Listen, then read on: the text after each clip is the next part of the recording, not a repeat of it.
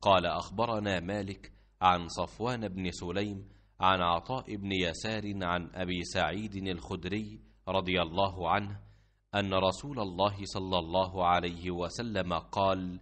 غسل يوم الجمعة واجب على كل محتلم